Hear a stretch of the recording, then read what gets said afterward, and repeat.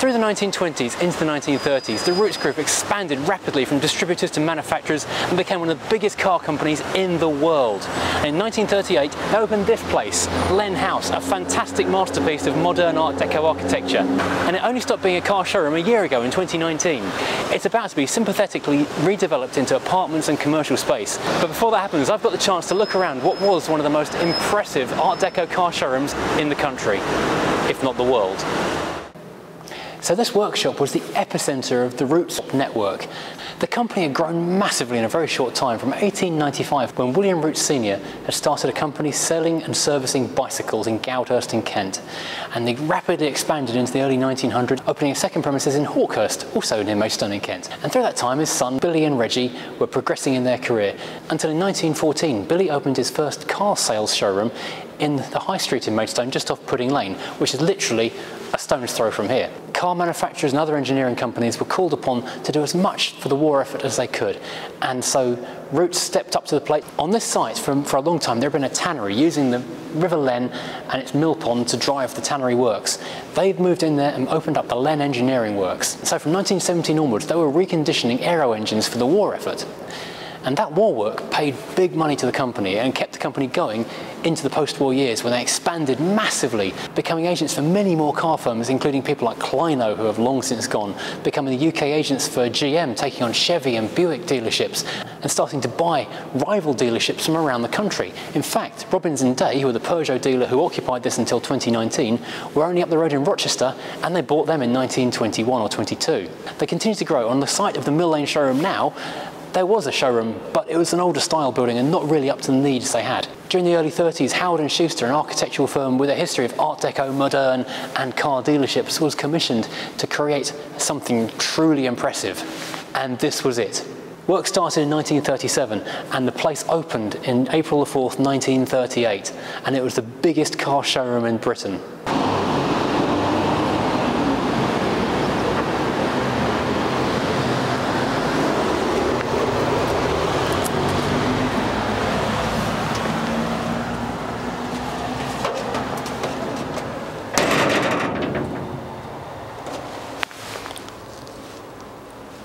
It's weirdly haunting walking around this place when it's just completely deserted, just knowing how busy it was for so many years.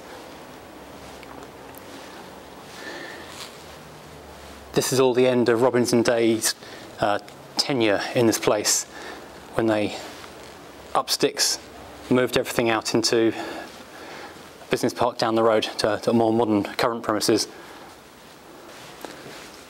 So walking through the offices,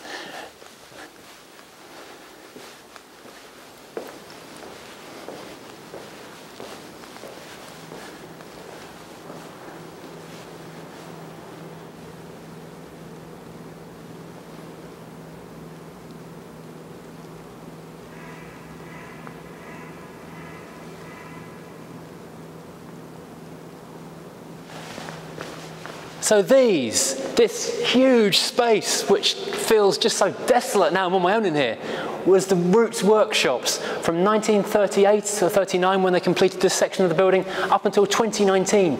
This was alive with cars being repaired, serviced, MOT'd, accident damage in the body shop.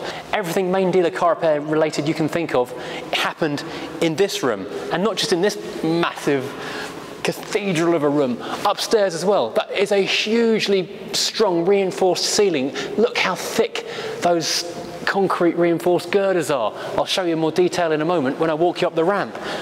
But this ramp, like so much else in this building, is listed so when it's redeveloped, this is staying, which is a marvelous feature.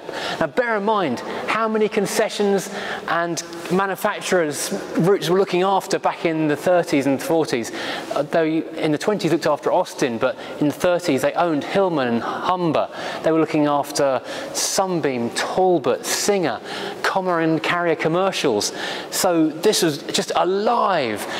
So upstairs is as big again as this and would have been filled with vehicles. And during the Second World War, every Commer truck that went out to Europe to fight came down this ramp at some point. That's quite an incredible thought.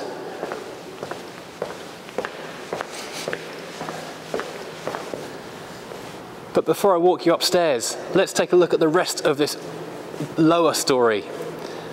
Under the ramp, we've got washrooms, toilets, storage area. Just going to look at that in a second.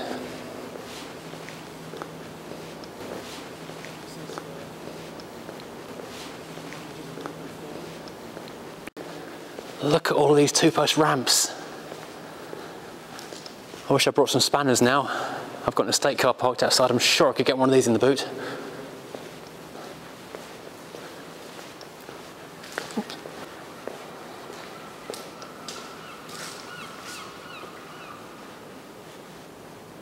These windows, this is typical 1930s modern style. Just huge areas of glass bringing so much light into this room. This probably isn't 1930s equipment, it just looks very dirty. You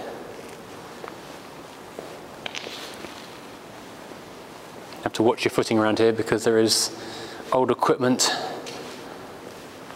pits, you name it, oil on the floors.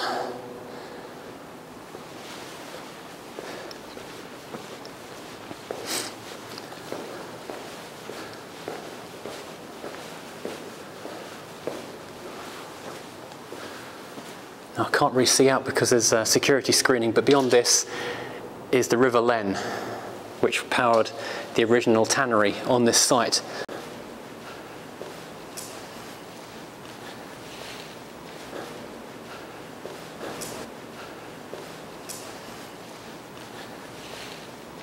All the staircases here in this building are listed as well. So much of the fabric of the building has to stay and there are the plans are incredible for the redevelopment of this place.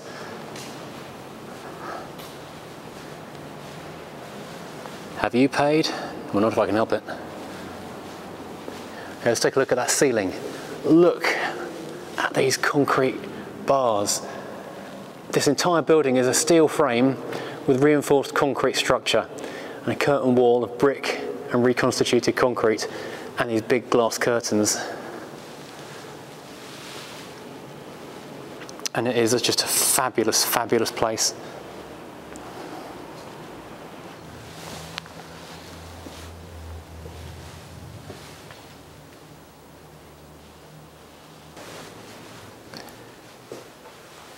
It's really interesting to think what is original to the 30s, what survived through the 50s and 60s to the Second World War, and what's modern, what's from the, you know, the 70s, 80s, 90s. Peugeot 405 diesel Haynes manual. You would think main dealer wouldn't need to be referring to the Haynes manual, but you never know.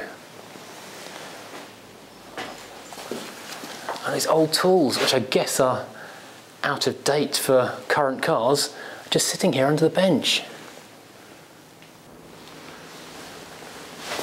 This is the storage area underneath the stairs. Quality assurance quarantine area. Very apt at the moment. Oh, there's Simca 1100 book down there. Watching my step into here. Old filing cabinets. I don't know what you can see. There's just the light of my phone lighting this up. Simca 1300. Oh my word, Datsun Haynes manuals. Datsun 610 chassis and body book. My word.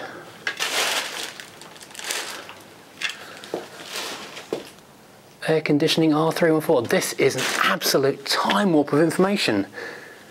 1960, oh, are you seeing this? Ferodo 1960 trade catalogue. Simca 1100 service guide. Service guides for the Humber Hillman Sunbeam Chrysler 180-2 van. Commer Karrier workshop manual. What year is this from? I have to take this outside to look. This is just remarkable. Commer Karrier Workshop Manual, forward control models, Rootes service, oh my word. This stuff I really hope can be saved.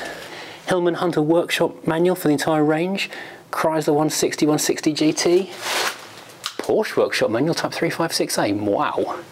That's not looking its best though, that looks like a, like a health hazard to be honest.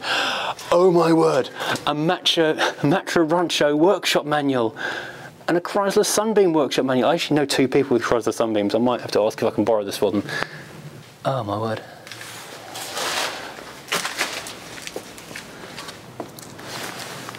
Ah, well I'm glad I stepped into that little cubbyhole. That's incredible in there. Right, now let's go upstairs up the ramp and see what we can find.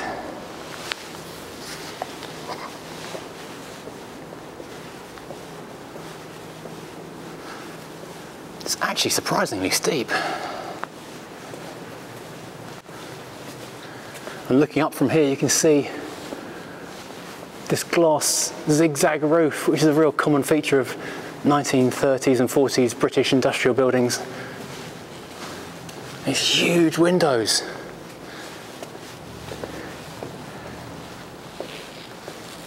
This place is just enormous.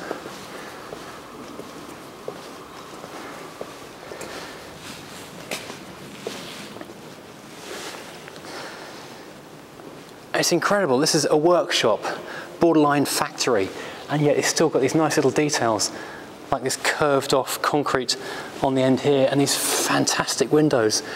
Such a beautifully light building, so airy. Ah, I may have just broken some rules here. Pedestrians must not use the ramp. Oopsie. This is quite significant, especially on older cars. No vehicle to descend the ramp unless engine running in gear, brake check before descent. Wise words.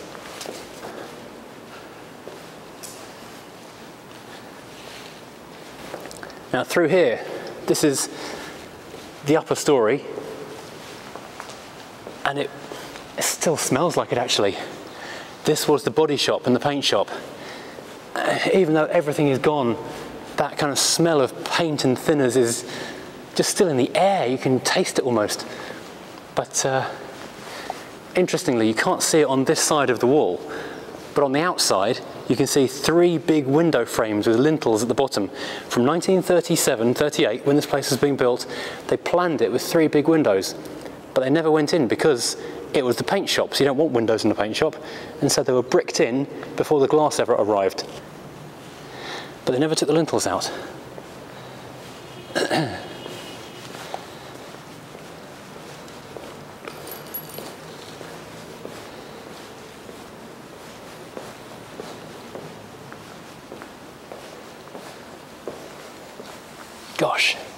anyone need any Renault, Peugeot or Citroen connectors? This is quite incredible. The stuff that was just left behind when the company went.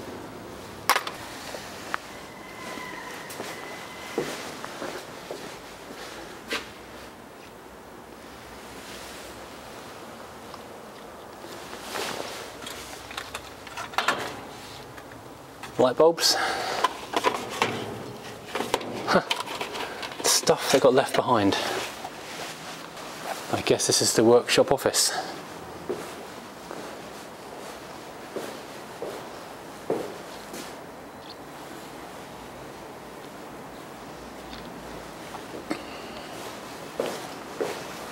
Oh, body jig. How did I just walk straight past a body jig without even noticing it?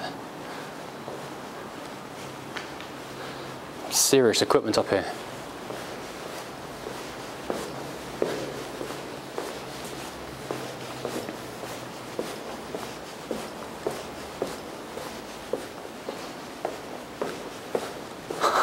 Pile of brand new floor mats never used.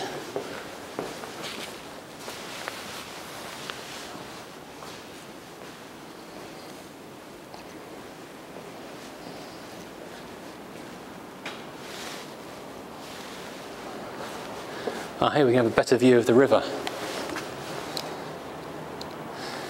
If I open this window, if the window will open, oh no it won't, it's stuck. This here is a better view of the mill pond. I'll try and get this on the drone, it'll be much clearer.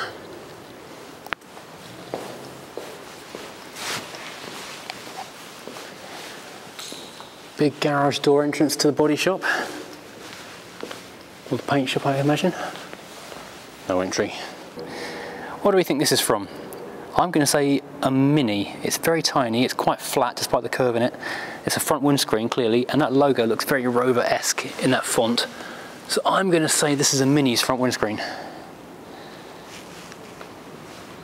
There's all kinds of things. This is a quarter light from something. It's Peugeot Citroen, doesn't say what though. Some inside trim, probably from the boot of a Peugeot or Citroen. Uh, some tinted material, again, from a Peugeot or Citroen. All these bits of body, these panels and parts that are just lying around, just abandoned. There's a tail light from a very current model Peugeot. This is just amazing. Now take a look up at this ceiling. The redevelopment plans for this place um, are quite amazing. I mean, I was, I've known this building for my entire life, having sort of grown up in this area, and I was really worried that the cost of renovating it meant it might be pulled down even though it's listed or have something horrible happen to it. It's going to be really sympathetically put back together. And they're going to take out these lights and put a third floor above here, but set right back from the road so you can't actually see it from downstairs, which is an amazing use of, of the building. And the developer has been incredibly lucky in that this floor, this floor here, where you've seen the beams downstairs and the ceiling, was designed to carry lorries, HGVs. So second floor apartments are not going to be a weight issue one little bit.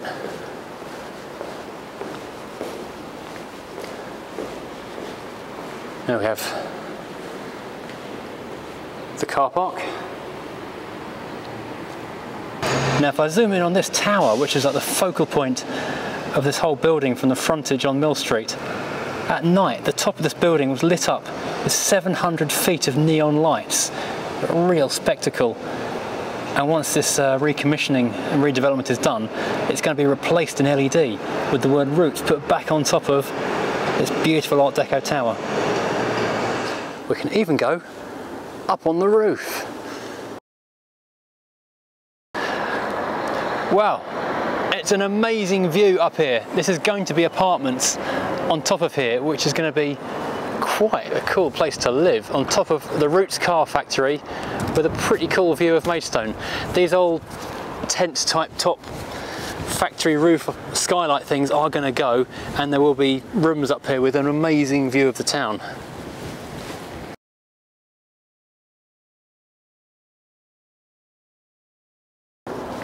Looking over the side, looking down at the River Len in its culvert, the old Len Mill Pond which powered what started this entire car company in the first place. Now, let's go into the staircase, and apart from a lot of bird poo and a dead pigeon, you can find an original 1930s staircase. I do love these kind of twisted wood and metal staircases you find in so many 30s buildings that look really elegant. And underneath this rubber flooring is stuff called terrazzo. I can't lift it up, it's glued down, which is a beautiful kind of polished concrete. It's immensely expensive to install, but incredibly tough. So if they can get this uh, rubberized stuff off it, it will be very beautiful indeed. We've come into a stairwell here. Now we have offices, because this corner overlooking the mill pond was the office section of the building. Now I've walked through a store cupboard now, looking into a roof area because so much of this was double height, but then it was mezzanined and false roofed off over the years.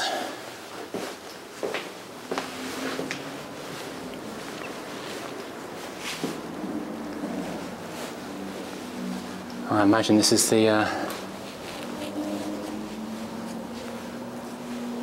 was a window just there, cupboard from the 60s. These full height windows are beautiful. And here we have back out to the mill pond again. Oh, more history. Advertising. It says on the front. Is there anything in here that's worth looking at? I hope. Oh, Haynes of Maidstone, another big Ford rival in the area. Here we have, oh, this must be from the 70s, I guess. The Kentish Gazette advert. This is a cuttings book of all the adverts from the Northgate Garage Renault, oh dear. Uh, Avenger, GL, Avenger GL Saloon. There's no dates. I wish there were dates on here. Wow, Regal Estate.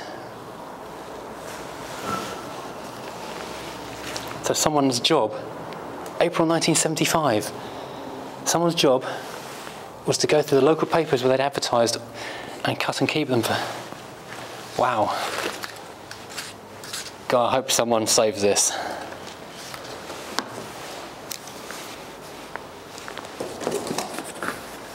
Peugeot 305, the best estate car in Britain. There's some glass there, I won't put that.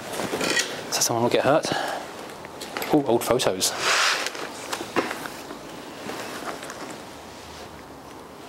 Photo from 1959 of Rootes. I'm not sure where this area is, hang on. Jim Bowen? It wasn't Jim Bowen. It was Humber Hillman and Commer, or possibly Karrier Works in, I'm going to say, the late 30s, early 40s.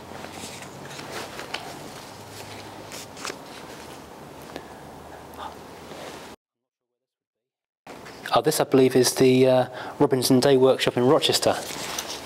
It is, yes it is, yes, there's a, a caption on here, Rochester High Street, November 1944. Wow. These must be other Rootes areas.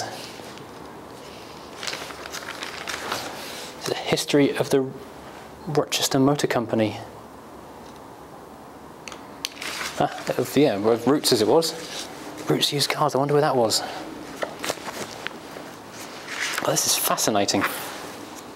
This is obviously the uh, late 50s, early 60s we're looking at here. Someone might recognise the cars and indeed the train. £179 for a Humber. Bargain.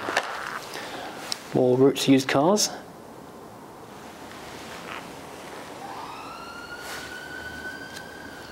I wonder what Leonard's of Rochester did.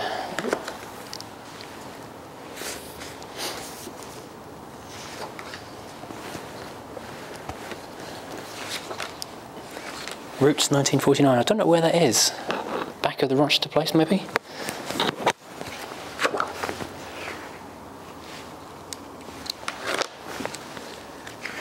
Commer truck from some time. This is amazing. This is absolutely astonishing stuff. So back in 99, Rootes was doing well. Right, let's carry on with the tour. More offices.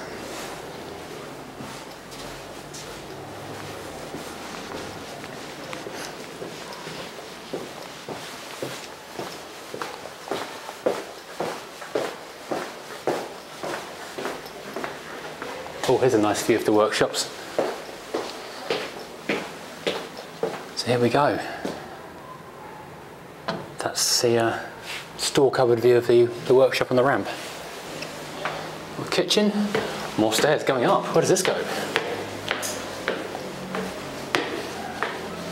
Oh, we're back into the, um, back where we started. Oh, okay, here we go. Now we'll come back here in a minute this is the link, this is virtually the bridge that you see above the car park. So looking down through this plastic stuff on the glass. We cross, we cross another listed staircase which will be terrazzo again underneath that. And here we go. This is possibly the most haunting room in the building. The just atmosphere in here is incredible. In the late 80s, this room above the showroom became a snooker hall and bar. And it still is, all here. Jimmy Whirlwind White played here in his youth.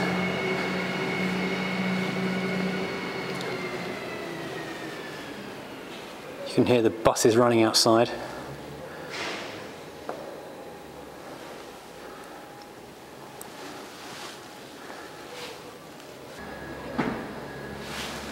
There's pigeon poop everywhere, unfortunately. You the buses and someone having a massive row on a phone outside. Quite creepy because you can sort of still smell the beer in the carpet and the fags in the air. And there's a bit of a breeze through here as well. It makes the doors blow every now and then. This is like the Winchester bar. Amazing.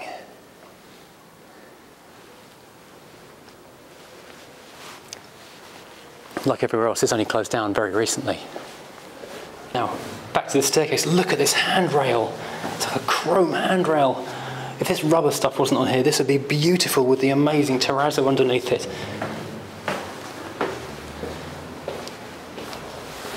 This is really, really class stuff.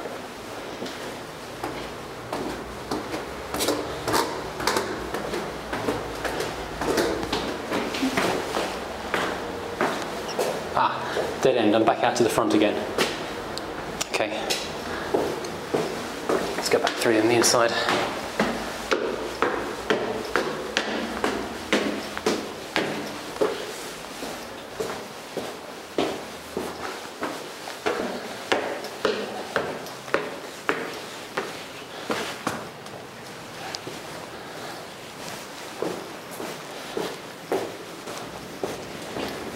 Take a different staircase.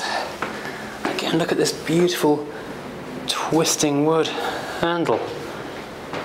It's just lovely craftsmanship from the 30s.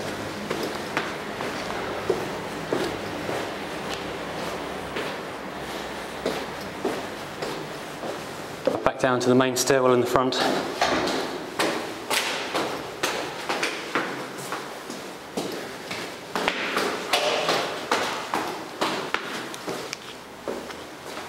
And there's a basement down there as well. I didn't realise that. Which is storage. Old printers, racking, bits of paper. Not that exciting. Oh, an old Peugeot sign. Ready to rent. Peugeot rental. It's probably about 80s, I reckon. Back up again.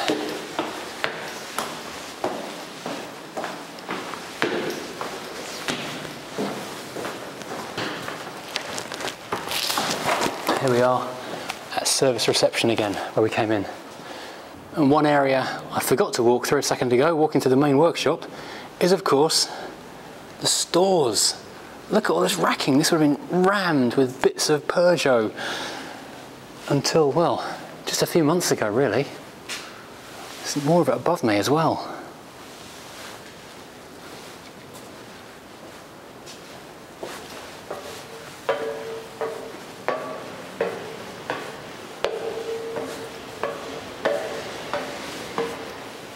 Can see how solid this building is.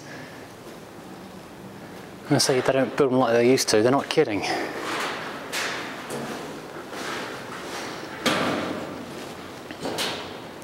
The river looks delightful today.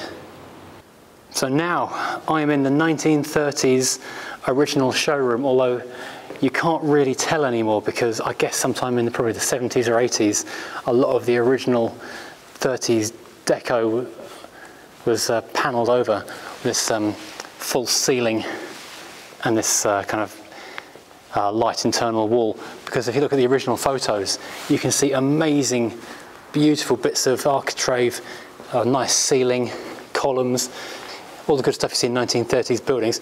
Oh wow, 1930s kitchen. Cup of tea, anyone?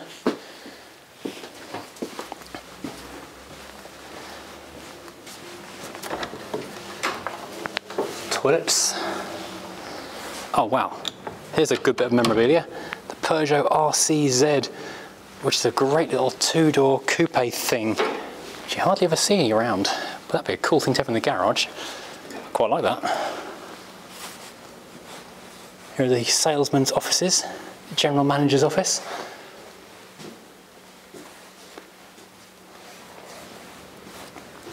Hopefully by the time you see this, there'll be some 1930s, 40s and 50s pictures I can drop in, which I'm looking for as we speak.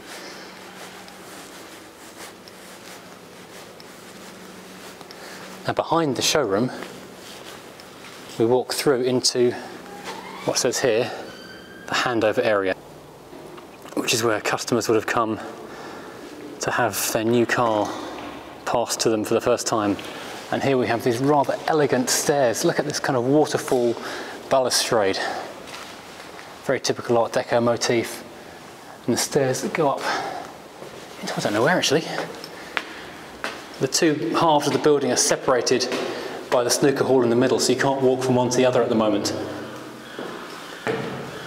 So let's see where these stairs go. Because we are kind of underneath that lovely tower at the minute we were looking that we were looking at from the other side of the building in the workshop. We have a skylight.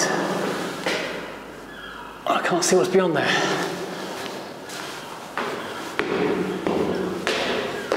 Ah, we have a key code, so can't, can't go any further. No. Look at this lovely, lovely banister. This is, looks like cast aluminium. They did car dealerships grandly back in the 30s. So from this big shutter door, it would have been quite an exciting first drive in your new car, whether it was a Peugeot up until recently or a Talbot before that, a Chrysler, a Humber, a Hillman, a Singer, a Sunbeam, who knows what else would have been handed over to the new customer that have taken their keys and driven off in their new car from this very room for, for 81 years. Although it's sad that this building will no longer be part of the motor trade after eight decades, and that Robbins and Day, the last link with the Rootes Group, has now finally gone from the place, I am hugely relieved to know that its future is safe and it's going to be sympathetically restored and for the and for the first time in my lifetime we'll be able to see it in its original 1930s form. That's something to look forward to.